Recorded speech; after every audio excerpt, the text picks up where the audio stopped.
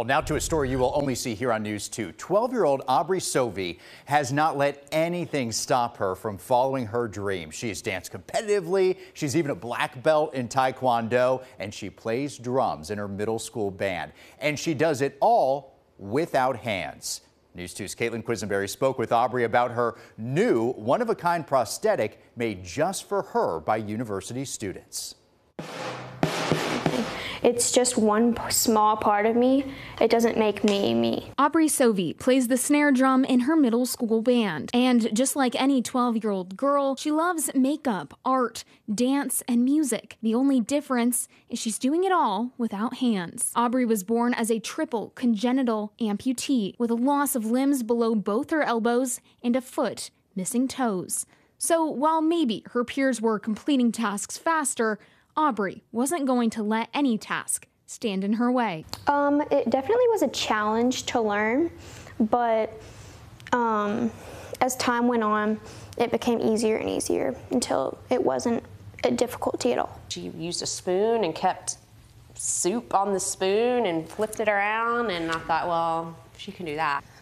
She can do anything. From a young age, Aubrey learned how to do everyday tasks like makeup, cooking, and even playing the snare drum using the crease in her elbow. But holding the drumsticks in the crease of her elbow wasn't getting the sound that she was wanting. It's kind of difficult because the at like the drums would start slip, the sticks would start slipping. And the sound wasn't firm enough. That's when a group of 10 Tennessee Tech University students in the Tech Engineering for Kids program stepped in and began working on 3D prosthetics for Aubrey, made specially for drums. She likes to play the drums. And so you start thinking, okay, so she plays the drums. Does she also play like mallets? Will she play like a xylophone, something like that? So like, are we going to have to have, is it going to have to be able to hold different handles? How is it going to be like secured to the hand? Like all of these are questions that we're kind of thinking through. They said, no, no, no, we're just going to, uh, uh, uh, make the final product 3D printed. And that's when I sort of said those infamous words. I said, there's a one in a million chance that that'll work. But I said, but, you know, give it a try. The students spent a full semester working with Aubrey to get measurements and preferences